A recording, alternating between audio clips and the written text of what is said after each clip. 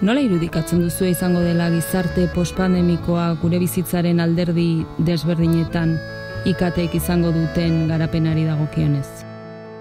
Aurrera jauzi bat egingo alda telelanean? Nik uste dut eh, horrela ematen duela, ez? Emango dugula aurrera pauso bat telelanean eta, bueno, E, batez ere, e, nik uste dut e, aurretik zetorren joera bat e, egindala piztu honekin, ez? Pixka bat pandemia honekin, eta ondorioak nabarmenak izango direla.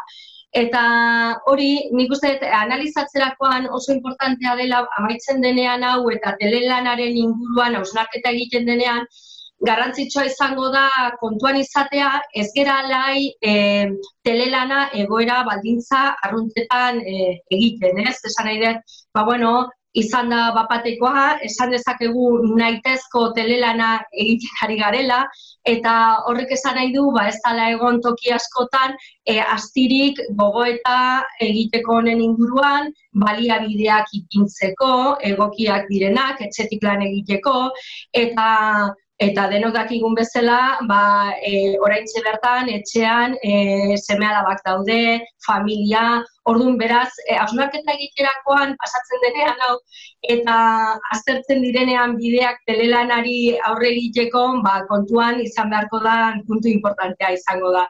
Baina, bueno, onurak eta kontatzekotan ez, nik uste dut honek e, telelanak albidetzen duela, lan eredu produktiboa gorantz jotzera, ez? E, Bizka bat helburuak helburuak eta emaitzetara jotzera. Nien ikusten dut hori puntu interesgarri bat izan litekela, beste esparru bat izan liteke uztartzea lan pertsonala eta profesionala ere mugiak e, uztarketa hori ba, esan nahi detena denbora urreztea adibidez, ez? Denbora galtzen duguna hortik zehar bideetan eta autobilaketetan eta istripuak eta bar, ba, bueno, hori ere izan liteke abantaia bat eta batez ere e, ba, bueno, beste eredu batzuetara jotzea ez, irien jasangarritasuna, e, kotxea ez bali badugu partikularki hartzen ere, ba, bueno, horretan ere abantaiak egongo dira. Ez? Hori e, espazioen inguruan ere abantaia bat izan diteke, mm, begira da nun ipintzen duzun, ez da askotan abantaiak direnak batzuentzat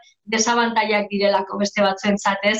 E, agian e, telelana bultzatzen balin bada, askotan ez da beharko behar, e, toki bat e, e, prestatzea, hau da, e, bulego batean, eta horrelakoan etxetan egiten bali bada, baina horrek esan nahi du, beste alde batetik, ba, langilea jarri beharko ditula, ba, balia bideoiek, ba, balin bada, e, askotan, ba, igual, neguan kalefazioa behar bada, edo bestelako gauzak ez gero, horrek ere eramango du beste eredu batzuetara, ez, malguagoak izan itezken beste eredu batzuetara, ez daukagu zertan pasa, e, telelana euneko unera izatera, baizik izan iteke proportzio neurri txiki batean. Eta nik uste horretara eramango gaitula pandemia honek, ez? Ba, pixka bat ikustea telelana orain arte ba, kulturalki guk ez dugulako erabat e, balioetxi, aukera hori, ba, aurrez aurrekoak garelako eta askotan e, lanaren edo e, taldeak kudeatzearen ideia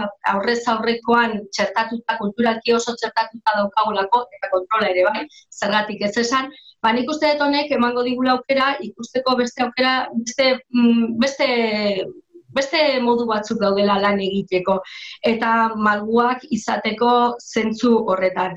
Eta desabantaiak ere noski ba, e, badaude, ez? E, enpresen munduak telelana ezartzeko askotan esaten den bezala heldutasun maila bat behar du.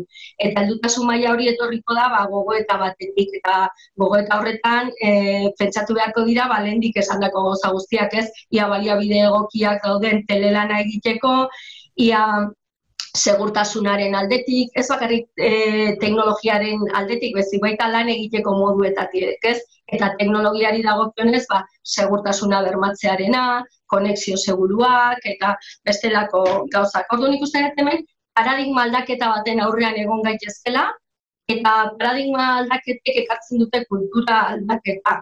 Eta nik uste kultura aldaketa emateko eta aurrera egiteko behar dala ez gutxietxi dauden aukerak eta betikora ezarri, baizik ikusi ze aukera berriak dauden eta lagundu akonpainamendu lan bat egin behar da e, kultura aldaketa horretan ba, gauzak ez egiteko gauraitze bertan egiten ari garen bezala. Telelanaren gai honekin etortzen zaiana da, pixkat demostratu dela, posible dela. Hau da, lehen batzuek ez zuten ez da planteatutuko eta egoera berri honetan e, demostratu da posible dela eta egingarria dela egin handi batean. Hori da daukan eventualidadea.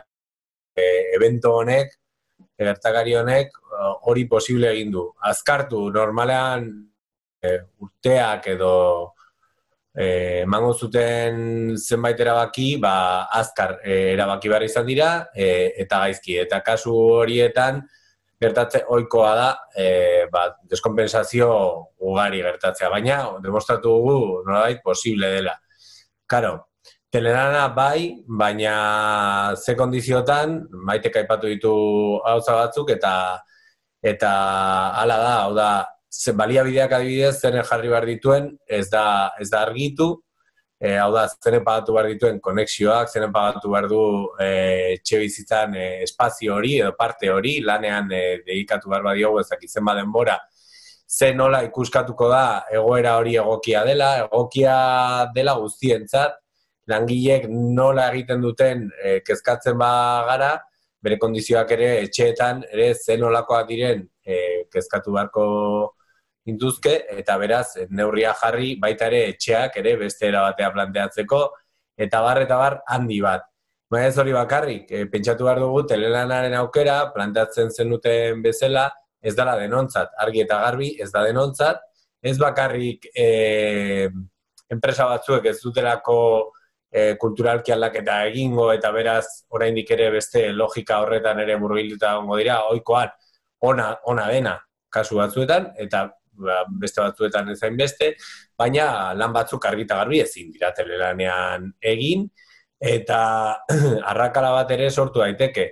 Abantaia bezala ikusten badugu telelana, ez dugula zertan ikusi behar kasu guztietan, e, ba, batzuek posible egingo dute, beraz, gaitasun gehiago izango dute, adibidez, bereien bizitza eta lana e, zehatzeko, ez, e, konpaginatzeko edo eramateko, eta beste batzuk ez, zer egin horiekin edo nola konpensatuko ditugu.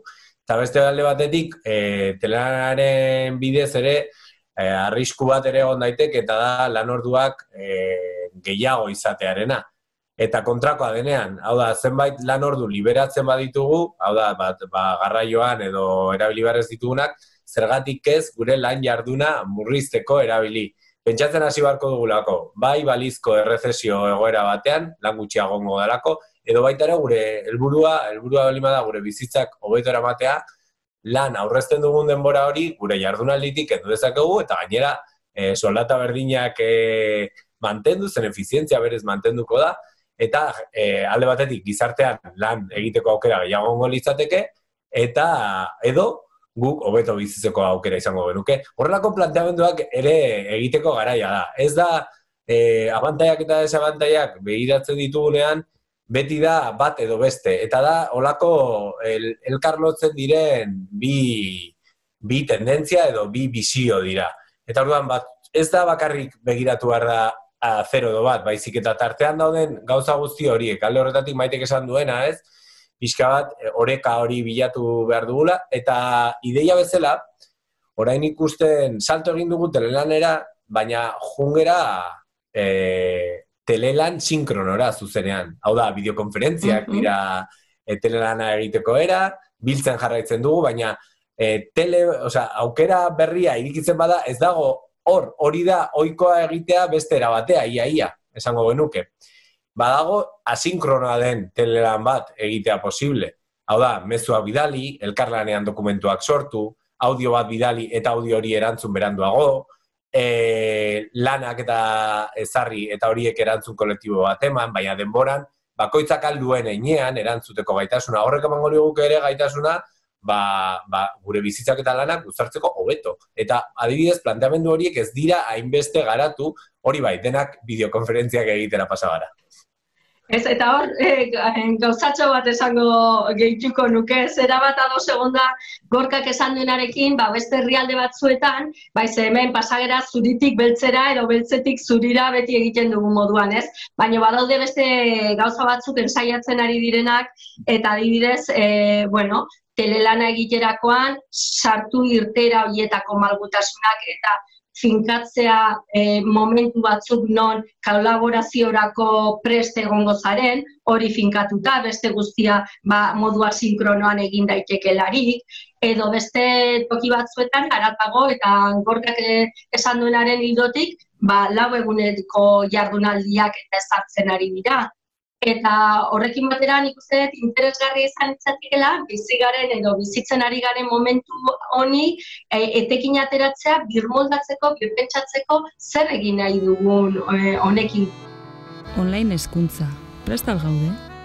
Zer da online irakaskuntza? Online irakaskuntza modalitate bada eta bere ezaugarriak ditu, beraz, orain egiten ari garen hau, ez da berez online irakaskuntza eh, esango geniokena, ez da aurrez aurrekoa saiatzen ari gara, eh, naitezko egoera honetan ba, moldatzen egokitzen alden neurrian, ez? Ez bakarrik eh, batez ere eh, modu eh, teknologiarekin eta bar, baina moldaketak dira.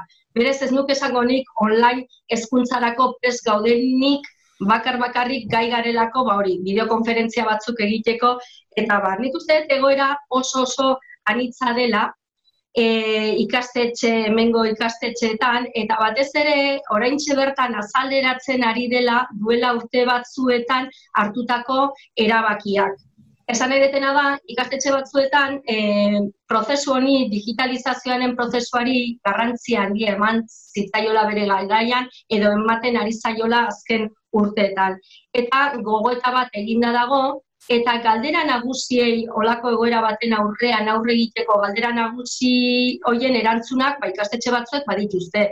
Eta horrekin esan nahi dut, ba, gogoeta egin dela maila metodologikoan, maila teknologikoan ze plataforma erabili nahi den, erabiliko den, ze komunikazio bideak, ze aplikazioak, ze softwarea, hoi dena, ja gogeta ze gaiu erabiliko diren eta bar gogeta hori ikastetxe batzuetan eginda dago, beraz, asko aurreratuta dago, ez? Eta beste alde batetik, oso garrantzitsua da ia zeinek pentsatu duen e, aldez aurretik azken urte hauetan irakasle eta ikasleen kompetentzia digitala garrantzitsua denik. Hau da, netzat puntu klabetako bat, ez? Eta e, horretarako, ba, e, eman dira formazio eginda, kompetentzia digitalak garatzen saiatu da ikastetxe askotan eta bat, naiz eta irakasle asko orain arte ez duten ikusi behar hori. Arrazoi askoren gatik, ez? Teknologia ez dutelako lagun, edo ez dutelako, edo posible izan dutelako ba, berdin, berdin jarraitzea, klaseak ematen egokitu gabe, eta bar, baina honik uste dut, honek eh oango hau aukera aparte izango dela irakasle asko kontuan eta ikastetxe asko gogoeta hori egin ez badute ba gogoeta prozesu horretan e, sartzeko buru belarri ez ikusten dalako gaur egun ezinbestekoa dela 21. garren mendean kompetentzia digital hori garatuta egotea e, izatea bai ikasleen aldetik eta bai irakasleen aldetik alde ala ere e, oso importantea da kontuan izatea e, virtualki lan egiteak eskatzen duela metodologikoki batez ere gogoeta sakona egitea. Ez dala gauza bera aurrez aurrekorako prestatuta daukezun hori egokitzea edo etxeko lanak bialtzea toki askotan egiten ari den bezala eta eman lanak eta bota eta kanal bat edo beste erabiliz edo benetan metodologia hori adaptatzea. Ordu nik uste, eh, aldaketa handia izango dela, batez ere honek balio izan duelako kontzientzia pizteko. Kontzientzia pizteko ikastetxeetan eta kontzientzia pizteko irakasle askorengan eta horrek e, ni oso positiba naiz. Kasu honetan ez beste batzuetan agian ezain beste baino kasu honetan iruditzen zait behar horrek eramango gaituela ba pixka bat gurpile horretatik tira eginez ba hobetzera ez? Eta eta ikusten da garbi edo zein unetan gertadaki dutela horrelako egoera bat etorkizunean gertatuko dira seguruenik eta prestego behar dugula horri erantzuteko baino ez erantzuteko bakarrik baizik alitatez eta ondo prestatuta erantzuteko Bueno, netzako online ezkuntzan pauso gehiago eman behar dira, e, gaitasun digitalak dira klabea dira, zentzu horretan, eta eta baita ere irakasleen formazioa, askotan e, kontutan hartzen ez dena, zenberaiek ere prozesu, prozesu eraldaketa prozesu honetan, ba, beraiek ere beraien burua formatu behar dute, eta, eta neri adibidez, tokatzen zaite askotan, maiteri ere bai, horrelako formazioetan egotea, eta uste du jende asko esfortzu berezia egin duela urteetan zehar, ba, hortan, ez? Eta baita ere eskola asko gaitasun digitalen e, perspektiba hori bere ganatzen saiatzen ari dira, batzuek erritmo ezberdinetan, oso ezberdinetan, baina bai, alde horretatik nik esfortzu bat ikusi dut. Ez dut, adibidez, e, ikusten e, instituzioen aletik, ez Nafarroan, ez e, EAN, e, ez parralean, ez dakit, gehiago kontrolatzen dut Nafarroa eta eta EAeko mm. egoera. Ez dut ikusten proposamen metodologiko, pedagogiko bat eh, honen inguruan. Eta argi dago, hezkuntzak online bakarrik ezin duela izan, zenbait kasutan bai, zenbait gauzetarako oso baliagarria dira, zenbait formatu, baina hezkuntza orokorrari, ofiz, nolabait, eh, reglatuari buruzari bagera, ezin du bakarrik online izan. Horrek esan nahi du, online, komplementaridade bat bilatzeko tresna bat izan behar duela, baina hortarako ere pedagogia eta eta egiteko modu batzuk behar direla. Eta hortan adibidez ez dut proposamen e, zehatzik ikusten. Egin diren e, e, proposamena joan dira gehiago baliabide zornitzea e, eta, eta ez dira nahikoak izan kasu gehienetan, e, eskolak, gure eskolak e, bai publiko eta inkluso baita kontzertatuak ere, e, baina ez da proposamen pedagogikorik e, egin. Egin dira, programa batzuk badaude, nolabait, e, ba, formazioari lotuta eta bar, eta gero badira azpiogitura oso baliagarriak izan direnak, adibidez, Moodle plataforma e, orokortuak daude, Moodle e-learning plataforma bada, e, formazioa bertatik eman alizateko, eta eta honek ere bere mugak erakutsi ditu, baina ez Moodle bera tresna bezala, baizik eta, karo, e, aurreko egoeran eskalatua zegoen eran oso erabilera gutxirako pentsatua zegoen. Karo, jendeak behar izan duenean, benetan behar izan duenean, e, uste dut erakundeetatik ez dela reakzionatu denboran hori eskalatu alizateko eta jendeari ziurtasun bat emateko tresna horiek, hortzeuden horiek, orain beharrezkoagoa direnean, ba, a, e, errezago egiteko eta eta erakargarri egiteko. Eta zentzu horretan, ba, askotan improvisazioan erori bar izan dute gure irakasle ikasle eta ez ez dezagun ahaztu baita ere etxeetan dagoen irak, irakasle improvisatu kuadrilla hori, hau da, guraso eta segurazki anai arrebak ere e, egin behar izan dutela e, eskola bat montatu. Horrek ere bere dimentsio zerbait positiboa behiratu, behiratu aldera, ez? Dimentsio positiboa dauka, konturatuko ziren horietako guraso eta eta familia asko, ez, zelan suposatzen duen, zenolako lanak eh, ematen dituen ba, ba, gazte baten hezkuntza eh, egunerokoan eramatea. Ez bai, esaten nuenean, eh, ja, ikastetxe batzuk gogoeta hori eginda dutenak eta hori, baita gogoetatu dute arrakala digitalaren inguruan ez dugula itzegin eta hori ere oso garrantzitsua da, badakite zein beren, beraien ikasleetatik zeintzuk ez, ez dituzten baliabideak, zeintzuk ezin dituzten jarraitu gaur egun ematen ari garen ba, eskola hauek eta barrez, eta beste batzuek agian ba, ez dira iritsi horretara. Ordu noi puntu hori importantea da, ze beste guztia, aurreko guztiarekin bat egitera dator eta bat egiten du bete betean gainera. Eta bigarren gauza da, oso nabarmen geratu dena gorka esango diazu, bada egun hauetan ze e, baina e, ze esagerazioa ze uoldea izan da, anola e, aplikazio guztiek, e, plataforma guztiak eta bar izan izugarrizko bombardak eta izaten ari da bat doain ematen duela kurtso bukara arte beraien eskaintza azkenean propaganda egiten ari dira. Azkenean bezeroak e, lortu nahian babiltza beste solidaritate edo elkartasunaren izenean. Eta okerrena da askotan irakasleok ez garela ez daukagula kritikotasun maila bat jakiteko ze gertatzen dan, ba, probatzen ditugun aplikazio horiekin guztiekin. Non geratzen diren gure seme alaben datuak, gure ikasleen datuak, eta horrelako kontuak ere oso, oso, oso presente izan behar ditugu, ez da? E, interneten unibertsal, izaera unibertsal horren e, aldarrikapena edo, edo eskubide bate em, trataera behar duela, pixkat argi gelitzen da. Ez dugu ikusten, eh, egoerak oso oso gogorra mm, izan daitezkela zenbait e, familie eta etxeetan, eta horri e, ez dakit era egokian erantzun zaion. E, uste dut ez ez, erantzuna ez ez. E, zenbait kasu eta salbu egon dira, baina ez dira etorri seguraski erakunde publikoetatik. Teknologiek autonomia eta sormen handiagoa izatea bultzatuko aldute. Zentzu horretan jende asko bere egoera materialen gatik ere, ba, bizi tokia, egoera, parte, hori edo espazio hori partekatu behar duten jendearen e, situazio pertsonalak, noski osasunari lotutako kezkak, ba hori guztiak ez du jende askorengan ez du lagunduko gehiegi.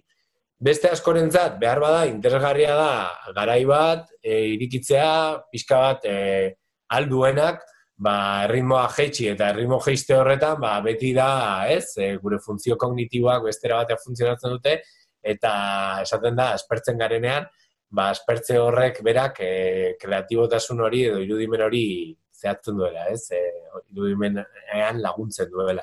Bueno, izan daiteke jende batentzako horrela izatea, eta ikusiko dugu, haber, zer ematen duen horrek. Baina begiratu nahiko nuke, honetaz bizi diren, e, jendearen eh, egoeran. Hau da, zein dira, ba, ez, e, bultzada sortzai edo kreatibo bat e, aurrera atera behar badu, izango da gure sortzaileek, gure musikoek, gure artisteek, gure eraguztietako e, sortzaileek e, aurrera egiteko gaitasuna dutelako eta irudimen hori landu eta eta horretatik ere bizitza ateratzeko gaitasuna dutelako. Eta egoera oso txarrean daude, zeuden, eta daude, eta beraz, ez dakit e, sortuko duten e, olako mm, diztira garai bat, edo loraldi berri bat, baina horrela izan bar badu, horrela izango bada, izango da, beraien kondizio materialak ere hobetzeko gaitasuna e, badaukate. Eta hortaz, horta, hortarako ere plan bat beharko da, egon beharko du neurriren bat, edo neurri batzuk, bestela nik ez dut ikusten e, errez, e, proposatzen den hori e, aurrera ateratzea. Hau da, dizira garai batera joatea, gehiago, akaso, hori gustatuko litzaidak, eh, neri?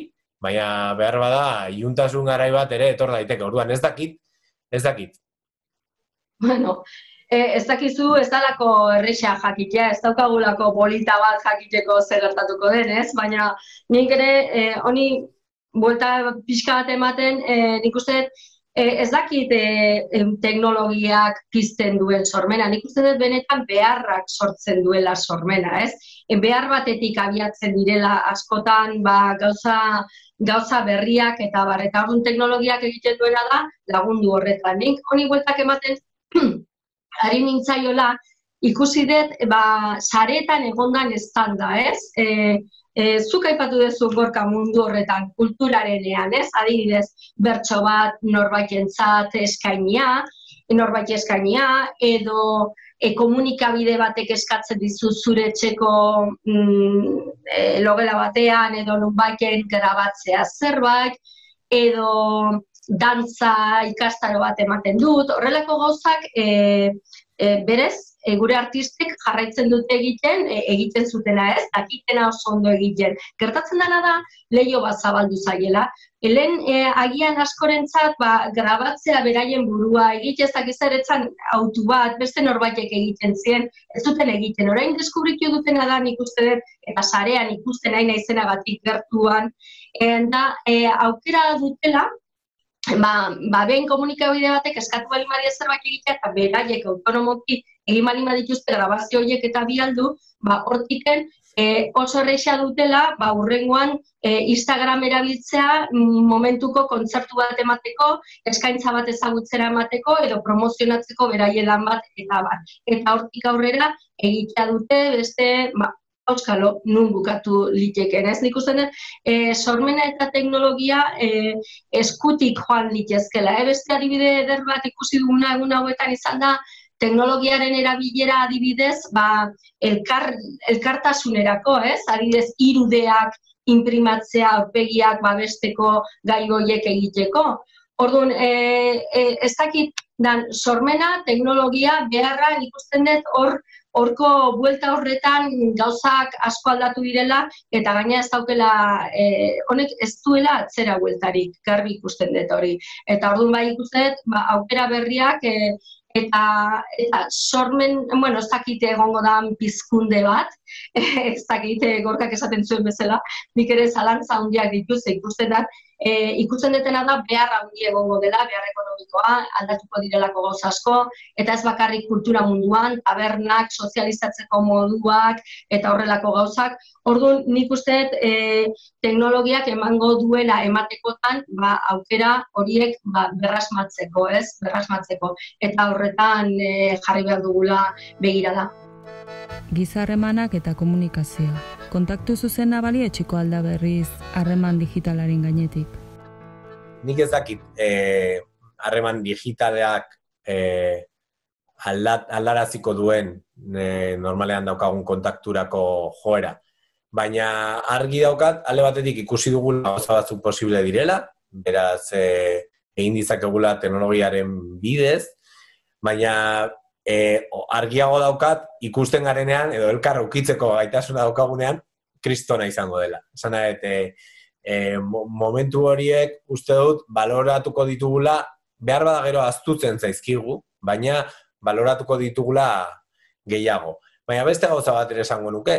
E, orain arte asko bereizten genuen zertzen benetakoa, fisikoa esaten ginen eta virtuala orain, bideokonferentzian, pintxopoteak egiten ditugu, edo kuadriarekin egoten gara, edo lanean diardugunean, errealitatearen nolabaiteko izaera ez digitala ere dudan jartzen ari gara.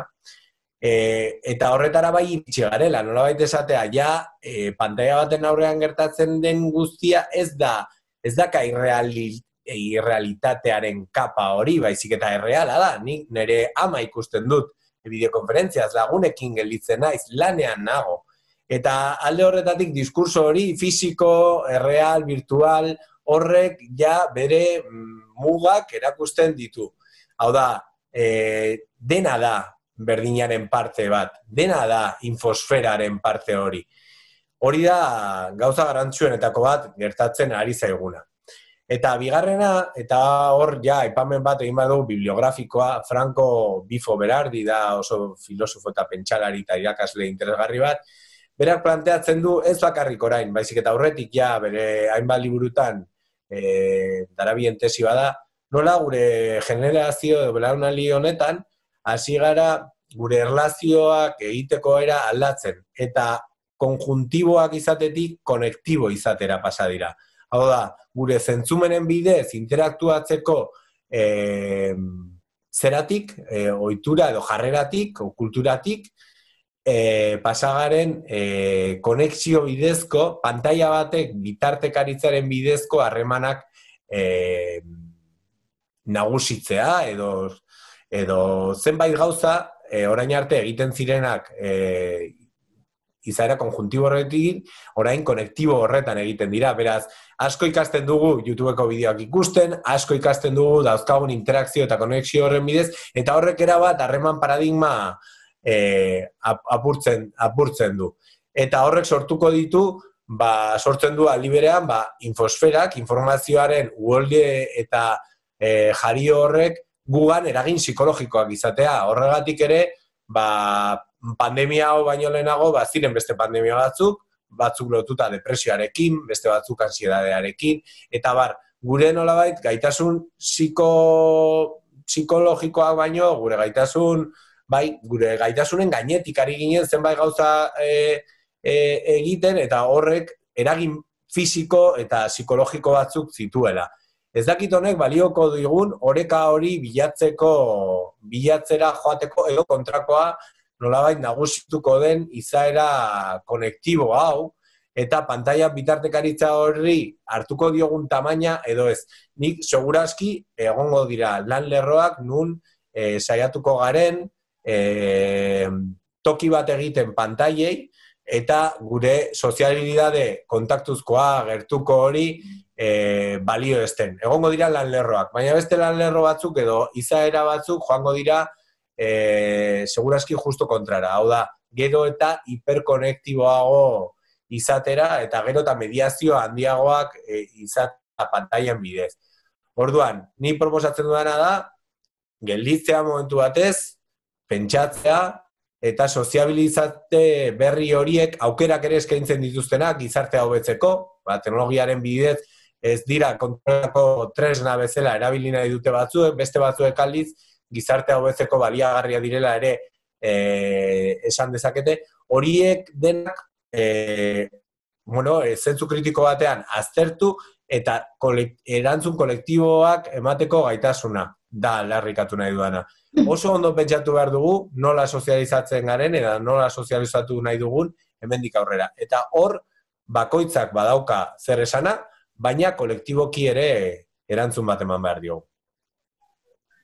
Nien hitzeteke ainarea e, joango, eh? esan e, bai, ados nago gorkak esan duenarekin, hau mugimendu hau ja lehendiken dator, ez da pandemiaren kontua. Batez ere, pandemiaren kontuarekin telelanak eta horrako gauzak aldatu dira, baina nik uste komunikazio virtual hau ja e, bazakit bikotekideak topatzeko, bestelako e, komunikazio izateko, aspalditik edo duela urte batzutatik datorrela, eta paradigmaia aldatuta zegoela honen aurretik, ez? Eta gero gaina, ez dut uste gauzak kontra jarriak direnik, nik uste dut e, oso ondo e, uztartzen direla bi, bi, bi paradigmak, hau da, aurrez aurrekoan egotea, momentuak daude, aurrez aurre egoteko, eta balio da beti, eta inoiz ez du galdu balio hori eta gainera ba, e, oso oso baloratuta izango da batez ere ateratzen garenean hemendik egoera honetatik, baina nik utzen dut, e, e, e, jakin behar dugula bere izten, ba, online irakaskuntza eta aurrez aurrekoa berdinak ez dira bezala, ba, hemengo komunikazioak, ba, batzuetan aurrez aurremanetan e, gauza batzuk egin itezke asko zere hobeto, beste batzuk ez, eta alderantziz. Beraz, nik uste dut, e, hemendik aurrera, e, duela, e, ez emendik aurrera, duela urte batzuetatik ja, badara matzagu e, bagorkak esan duen azken e, e, ba, simbiosi horrekin, ez? Bizitza bakarra da eta batzuetan erabiltzen duzu komunikatzeko modu bat gauza baterako eta besterako. Virus viralitate kontzeptua izan liteke gure garaiko zeinu nagusia gure mm, garaiko zein nagusia izango dela guk nahi duguna izatea, ez da? Guk e, nora bideratu nahi dugun e, gizartea eta nora joan nahi dugun, ba horrek markatuko dizkigu e, zeinuak zeintzuk izango diren. Niri viralitatea eta horiek eta birusa eta horiek baino gehiago gustoko litzaidak izatea elkartasuna, batez ere, eta labur labur esateko birmoldatze, aldaketa, birpentsatze horretan hori izatea zein nagusia. Mm Nik ez dakit den e, gure garaiko zein nagusia zen. Uste dut, badela muga bat esartzen duen e, hitza.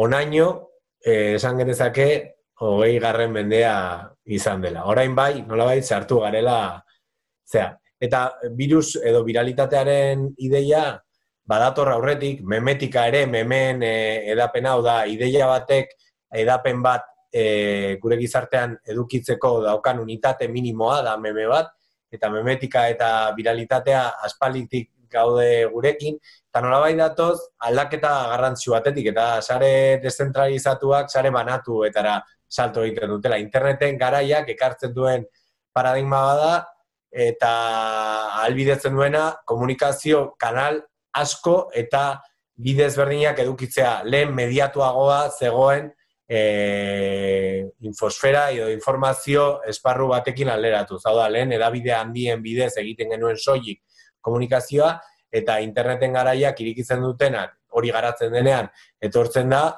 ba, beste konexio asko egiteko aukera eta beraz, ba, edapen, edapen mezu horiek igaratzeko eta transmititzeko beste, beste karakteristika bat. Banetzako, ez dakit, niri maiteri bezala, niri gustatuko litzaiak elkartasuna hitza benetan, datozen garai berrien eh, adierazgarri izatea, baina hori ez, hori ez bada, behintzat buru jabetza eh, aipatu nahiko nuke. Denok eh, nabaritu dugu, zenolako beharra daukagu e, beste, bestetatik, ez gera pertsona, e, bueno, individuak, e, ez gera individuan agregazio bat, baizik eta behar dugu besteaz, eta horrek esan nahi du, buru jabetzak ematen, eman aldigun klabetakoa da, bai, gure burua aski egin dezakegula, baina ezin dugula buru jabetza horrela ulertuta, kolektiboa, hau da, behar dugula, gure bizitzak sostengatzeko e, jende bat, eta harreman batzuk eta horrien bidez gero harremanduko gara gainera beste batzuekin gure autonomia horretatik, baina harremanduko gara burujabetza ikuspuntutik. Hau da, autonomia eta burujabetza horrela ulertuta. Bata bestearen inter, interkonexioa, beste, bestearekiko behar hori eraiki bar dugula, baina gure nolabaiteko e, autonomiatik. Hor garrantzitsuena da, erakutsi dela, zein diren benetako beharrezko eta sostengatzen, bizitza sostengatzen duten lanak, pentsatu beharko dugu horren bueltan ere, zein da gu sostengatzen gaituzten e, lanbideak, zein, zein zaintzen gaitu, eta zentzu horretan hortik etorriko da netzako paradigma berri, etorri beharko luke, beste gauza da zer etortzen den, etorri beharko luke paradigma berri horren sorkuntza, eta hori bai lizatekela e, albiste ona.